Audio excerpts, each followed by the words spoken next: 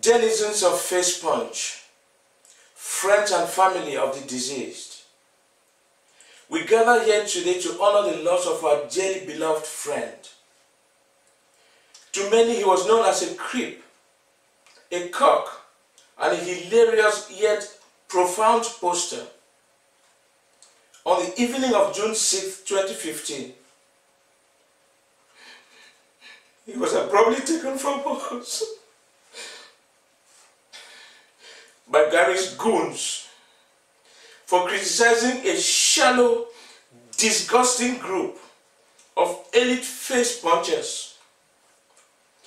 His death was not in vain. How could we let our community become so deranged and sick to let this happen?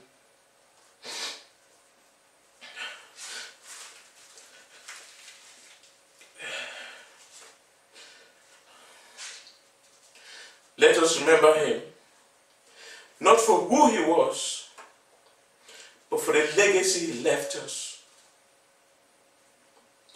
Rest in pepperoni, my dear friend.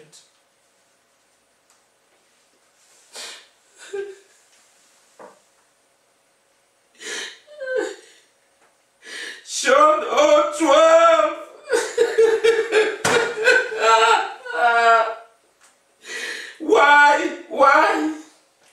Seano12!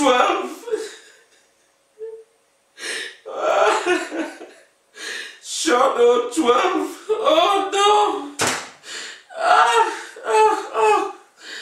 Seano12!